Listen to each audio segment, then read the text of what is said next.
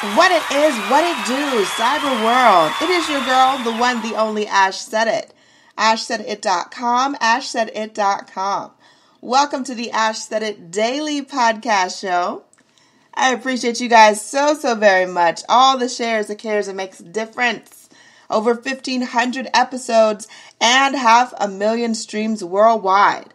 None of that's none of that would be possible without you guys. All right, so thank you so so very much. And yes, we're still living a bit of pandemic life, and things have gone a lot virtual. And so I actually got caught up with a brand, a company that actually was a part of the Nurse Festival a few, you know, mm, a couple months back. And we actually didn't get to connect with them, but we actually got that connection in right now. So we're talking to Joey from Assure Tech LLC. Hey, Joey. Hey, Ash, how are you doing? I am doing Thanks for having me awesome. How are you doing today? Doing very well. Awesome, awesome, Joey. All right, so Joey, let everyone know what is Assure Tech. So, AssureTech is a technology company I started uh, about three and a half years ago while I was a college student.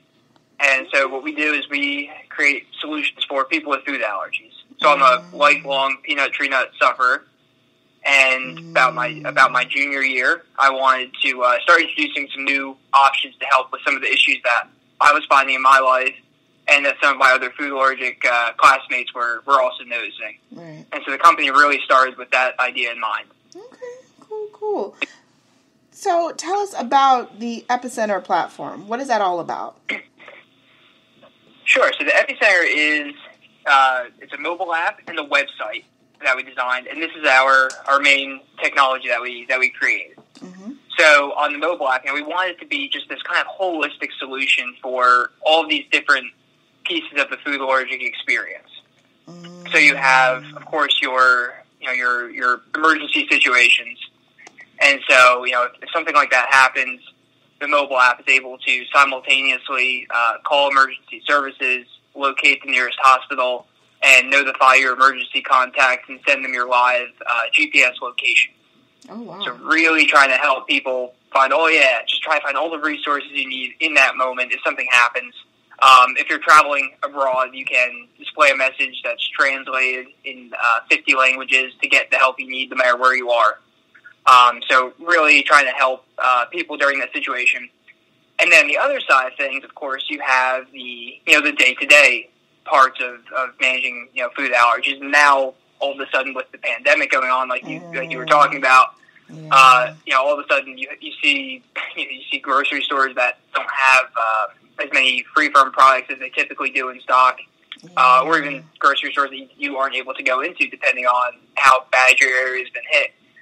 And so we saw that we launched our product this spring, uh, right in the middle of all that. That was, you know, the timing just kind of worked out that way, unfortunately. yeah. But as we started seeing that, we rebuilt the website because we wanted to, you know, help people find all these other resources to prevent having that emergency situation in the first place. Right. And so if you go to the website or in the app, you're able to order products from all of the, we work with all of these different companies in the food, app, the greater food allergy community.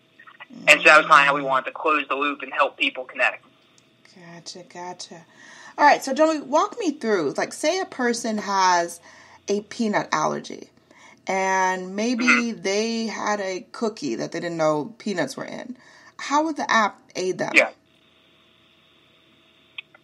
So if that happened, you would open up the app. You would press uh, right at the bottom, big in red and bold. It says emergency menu. You would tap that button, and then that would initiate the whole sequence. So it's you know you have the option to call emergency services, send the message out to your contacts. Uh, it has an automatic text in there, so you don't have to t- actually type anything out, but send a message up to 30 emergency contacts that says, you know, hey, I'm having an allergic reaction. Here's where I am, and then it would have the uh, link to your live location.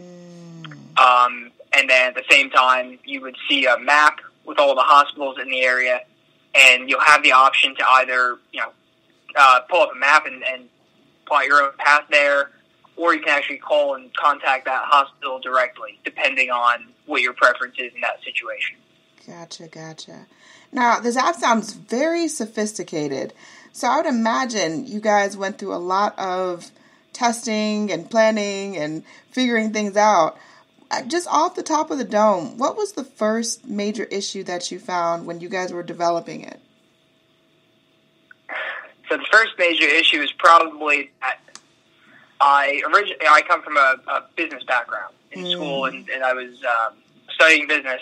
Mm-hmm. But I had the food allergy, and I wanted to help you know create solutions. So I, I spent a lot of time trying to understand what that process was like, and I was looking for you know kind of that technology partner to uh, to work with, so we could start to introduce some of these things I was designing on on paper. Right. And so in the meantime, I graduated from from college. I went to Juniata College, which is a uh, school over in Pencil, central Pennsylvania. Okay. And so I graduated, and my professor was um, he's originally from Taiwan.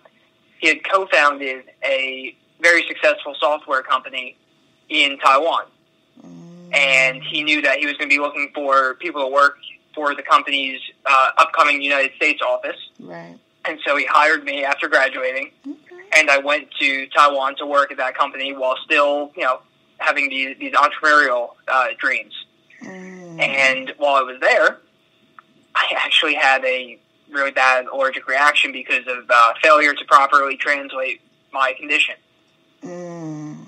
And so, yeah, that yeah. really, I mean, a- after that experience, I was like, okay, you know, I can, I need something to get me through the next six months because I knew how long I was going to be in Asia.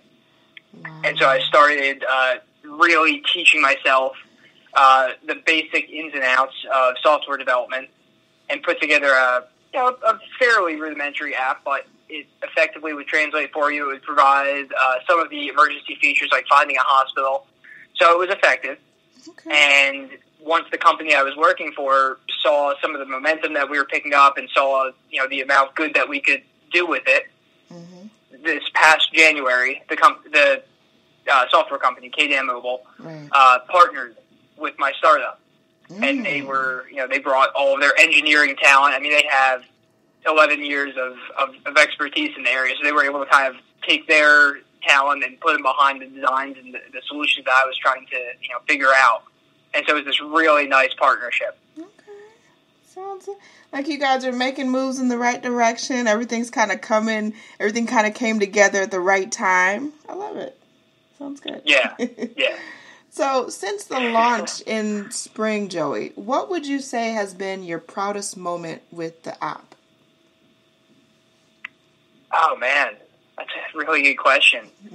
I think one of the things I was, I was proudest to work on was making that quick pivot when COVID broke out. So I know that's turned mm. every single business, you know, yeah. over on its head the, the past six to eight months or however long it's been now. Mm-hmm. Um, and that was certainly the case for us. I mean, we er, started out with trying to help people travel safely with food allergies, right. which you know all, all of a sudden became non-existent. And then you know just kind of returning to that core mission of making life easier and, and making more effective ways to manage your food allergies. So just returning to that and saying, okay, what does that look like now in a, in a you know a, amidst the pandemic?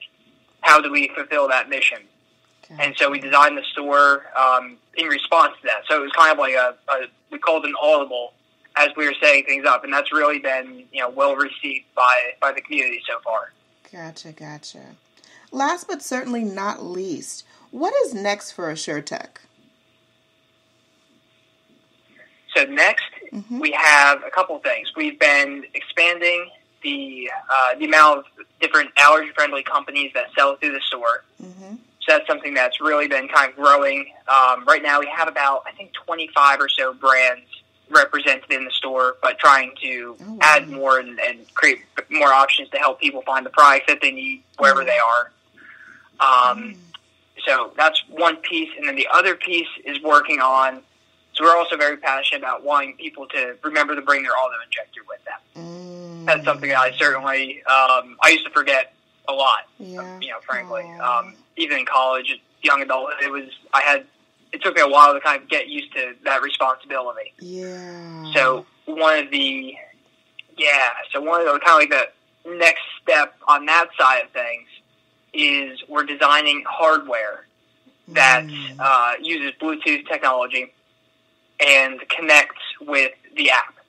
So if you leave it behind somewhere, you get a notification that says, you know, hey, go back and grab your EpiPen, your Auvi-Q. Here's where you left it. Mm. Um, yeah, we're we're working on on that solution. We've been building it for a little bit, and then the pandemic slowed things down. But now we're we're kind of regaining traction in that on that side of things. So I'm really excited to to help people find that too now. Okay, cool, cool. Well, Joey, thank you so much for joining us today. We appreciate you beyond Yeah, words. thank you for having me. and uh, let everyone know the best way to get in contact with you guys, and of course to get the app. Yeah, so you can find the Epicenter app, E P I C E E N T E R, on the iOS and Android store. So whichever device you use, you can go right on, uh, download it, or you can find us at epicenter-case, C-A-S-E, dot com. All right, sounds like a plan. Much more success to you and your team, Joey. Keep up the great work, and we'll definitely be cheering you on. Thanks. and I Uh, appreciate. thank you so much. Oh, Thanks again. Not a problem. I appreciate each and every one of you guys. Thank you so much for your love and support. Keeping in mind, anyone to tell you that you can't do what you want to do. You look them square in the face, you tell them, don't believe me. Just watch. Watch what I do. Watch me make it happen. Watch me make history. That's what we're doing this for the history books. Social media is nice, but real life is so much better. Until next time, you guys.